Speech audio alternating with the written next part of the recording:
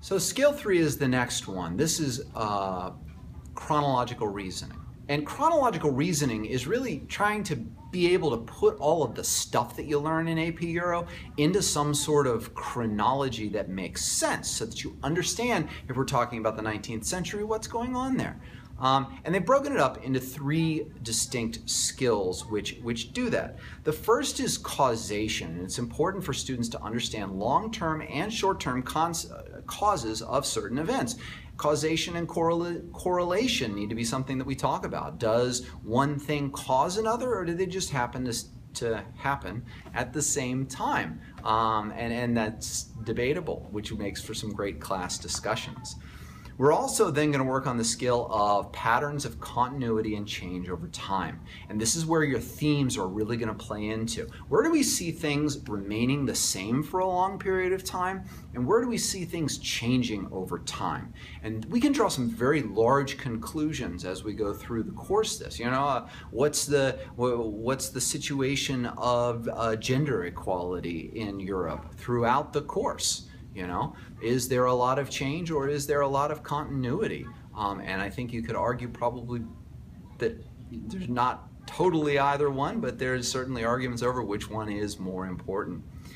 And then finally, periodization. Being able to take an event, a person, a movement, something like that, and put it into its correct historical period so that students understand where things are. Now, when I talk to my students about periodization, I tend to talk, talk about history boxes. And if they can conceptualize different boxes, like the, the Reformation box, and they see the name John Calvin, if they can put it in that box, they've periodized fairly well. Um, and that way they understand uh, when things are happening um, and also what other things are going on around them. So students have looked at primary and secondary sources, they've put them in historical context, they've, they've periodized them, they've looked at change, they've looked at all these things. What do they do now? Well, in order to really do well, they have to create an historical argument. And that really has two components to it. Number one is, well, creating an argument, coming up with something to say about all of this. And, and, and this is something that I find students struggle with because they take all this information and they go, okay, I've got knowledge, now what?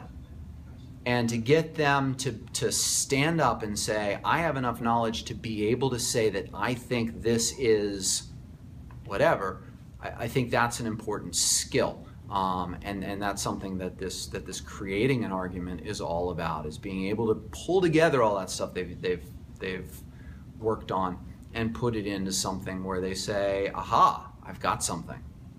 And then finally, using evidence to support an argument so that they're not just going to be argument, arguing large generalizations. Hitler was a bad guy you know? And i'm going to say that based on stuff that i have sort of learned along the way. That's not good evidence.